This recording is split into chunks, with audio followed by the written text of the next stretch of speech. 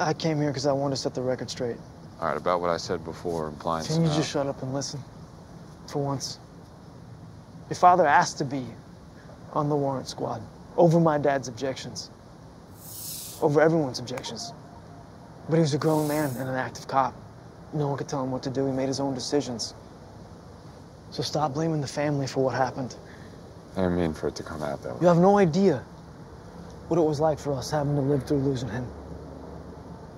You didn't even know him. So get off your high horse and have some respect about it.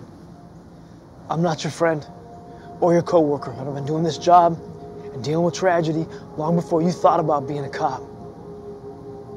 You don't think each of us, at one point or another, played the blame game?